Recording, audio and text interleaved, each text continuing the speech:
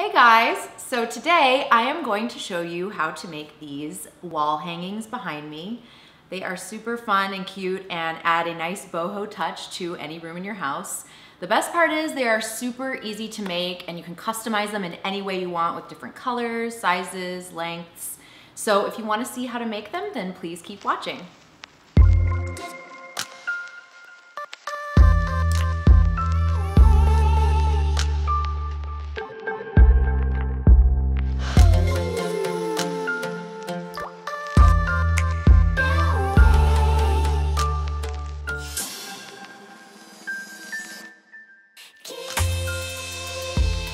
So the first thing you're going to need are some craft rings like these. I got these at Joann Fabrics.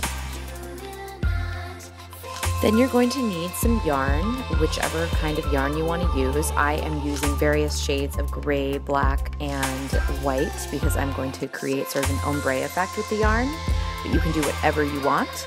And I've gone ahead and pre-cut these into long strands and I kept them nice and long because I don't know exactly how long I want the wall hanging to be, but I can always trim them later. So you're going to start by taking one of the strands and putting the two ends together and then put the folded end behind the ring and pull the ends through it like this. And you're just gonna continue doing this until you want to move on to another color or until you're done.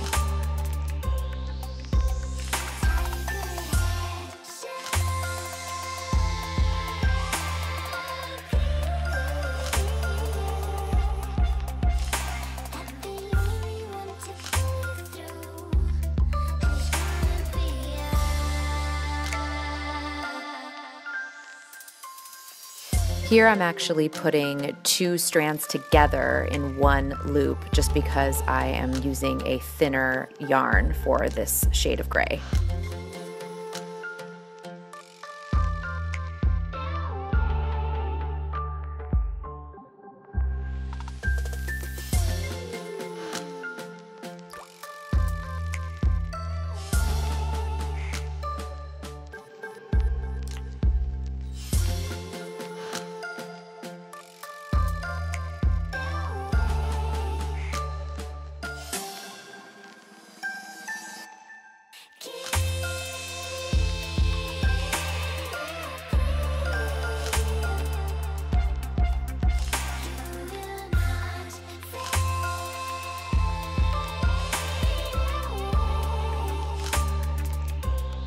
And you can make the yarn strands go as wide on the ring as you want.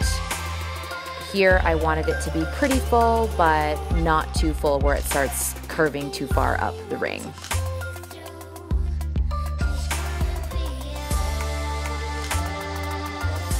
Here I'm attaching a second smaller ring just for decoration. You don't have to do this. You could add as many rings or as few rings as you want. So to attach the smaller ring to the bigger ring, all you're going to need is one strand of yarn, whichever color in your design you choose to use. And this is where you'll use your hot glue gun if you have one. So once you have your ring placed where you want it to be, you just have to take the long strand of yarn and wrap it around the two rings so that they stay together. It's a good idea to leave a little bit of a tail so you can actually wrap the yarn around it and it will stay more secure. If you're not using a hot glue gun, then just leave a longer tail and you could just tie it off to the other end when you've wrapped it all the way around.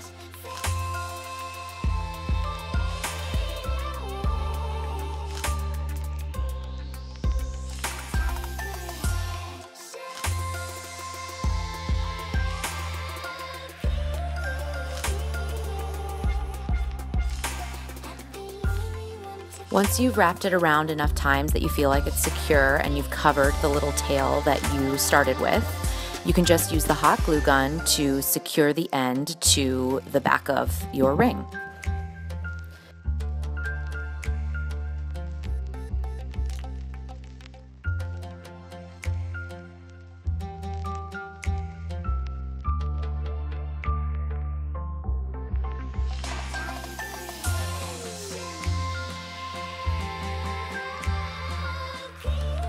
Let it dry for a few seconds before cutting off the excess, and you're almost done.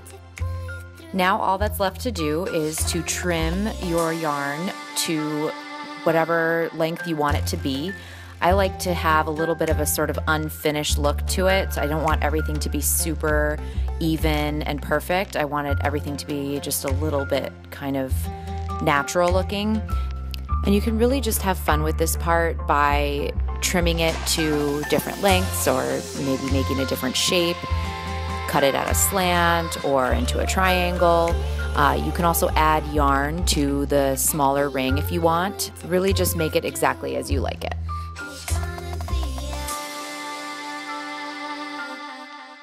So I hope you guys enjoyed this tutorial. If you have any requests of videos you'd like to see, definitely let me know in the comments below and don't forget to subscribe. Thanks for watching and I'll see you in my next video. Bye.